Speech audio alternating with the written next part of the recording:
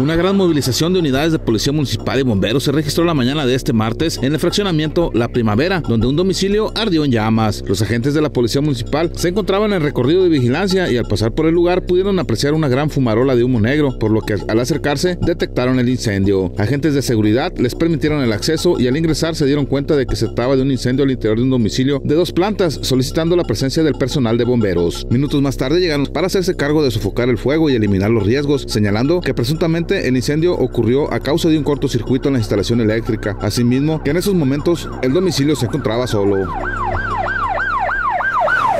La madrugada de este martes se registró una agresión con arma de fuego en contra de un hombre vecino de la colonia Loma Bonita, el cual fue llevado a un hospital por sus familiares. La policía recibió el reporte y se dirigieron al lugar para investigar sobre los hechos, localizando cuatro casquillos percutidos. También señalaron que cuando el hombre había llegado a su casa, este fue agredido por un sujeto que llegó preguntando por otra persona. Estos hechos fueron registrados a las 05 horas cuando reportaron que en la clínica 179 había llegado una persona lesionada por proyectil de arma de fuego. El asistente médico informó que en ese momento ingresó un masculino de 23 años de nombre Edgar Román, quien era atendido por un impacto de bala. Los elementos de la unidad PB-327 se entrevistaron con personal médico quienes informaron que el masculino responde al nombre de Edgar de 23 años, quien señaló que a las 4 y media de la mañana llegó a su domicilio ubicado en la calle Francisco Villa, un masculino buscando a una persona y al decirle que la persona aludida no vivía en ese lugar, este sacó un arma de fuego realizando varias detonaciones, lesionándolo en el estómago y que por sus medios acudió a la clínica. Personal de la fiscalía se encuentra investigando los hechos para dar con el responsable de esta agresión.